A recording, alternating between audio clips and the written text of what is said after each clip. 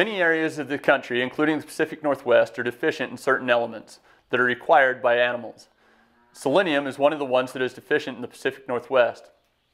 Injectable formulations that contain selenium are an important way that many producers can supplement their animals in a fast and easy way. For this study, 20 calves were selected to receive a formulation of Multimin, which contains 5 milligrams per milliliter of selenium, 60 milligrams per milliliter of zinc, 15 milligrams per milliliter of copper, and 10 milligrams per milliliter of manganese.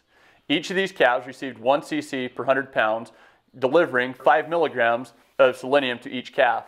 20 calves were also selected to receive 3 cc's uh, sterile saline as a control. Blood samples were drawn at 0 hours, 6 hours, 24 hours, and 168 hours to compare the trace mineral rise in these animal serum. When looking at the results of this study, we see that the group that received the Multimin treatment had significantly higher levels of selenium compared to the controls at 6 and 24 hours after treatment before returning to near baseline serum levels by one week.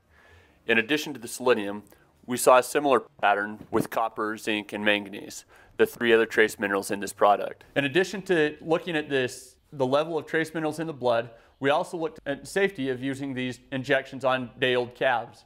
While it is noted on the label of Multimin that injection site reactions may occur, in this study we saw no injection site reactions on the Multimin group. In addition to this, there was no other clinical illness noted as a result of these injections.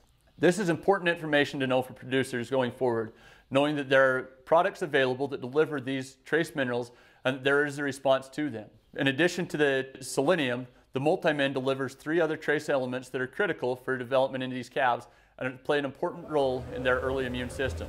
The results of this study support its safety and efficacy for its use in newborn calves. When I started practice, I never actually worked for another veterinarian. I was more or less trained by my dairy clients. A good place to use Multimin is in generalized health of the animal because the immune system is based on copper, zinc, manganese, and selenium, especially on selenium and uh, zinc. That's what the immune system functions off of. And a lot of connective tissue is based on copper metabolism. So the growth of the animal and generalized health, you're not going to have growth of immune system. Have a poor immune system, you're not going to have adequate growth because the animal spends all its time fighting off all kinds of diseases, unnecessarily wasting a lot of energy. Preventative animal medicine is the only thing that's going to make anybody money, me or the client, either one. So finding things that prevent problems is the only thing I'm looking for. And that's what Multimin does.